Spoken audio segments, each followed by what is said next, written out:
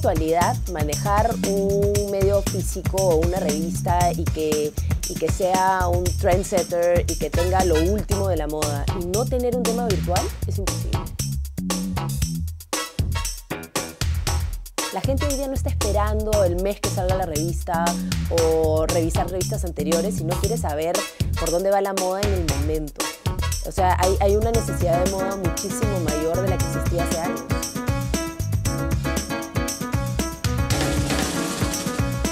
Los bloggers te permiten eso, te permiten que en el día a día tengas un consejero vivo que te esté ayudando a marcar una tendencia diferente, a ponerte algo diferente, a realmente vivir la moda.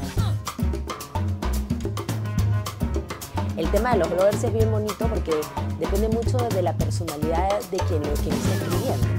¿Por qué vimos necesario que era bueno o mucho más enriquecedor tener dos bloggers? Porque cada una me va a dar una onda diferente. Una es más arriesgada, la otra puede ser más sofisticada y se conversó de esto con ellas y realmente ellas plasman su ser en sus recomendaciones.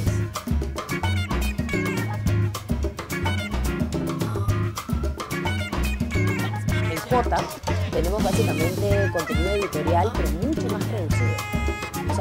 y es una técnica que te inspira. ¿no? Y básicamente tiene que tener una belleza en todo el, el arte impreso que tengas.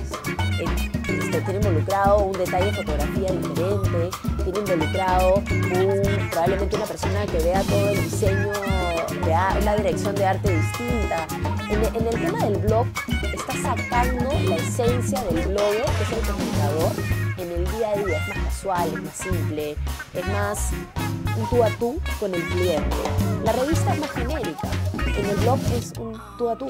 O sea, el blogger se enriquece en todo momento de quienes lo están leyendo.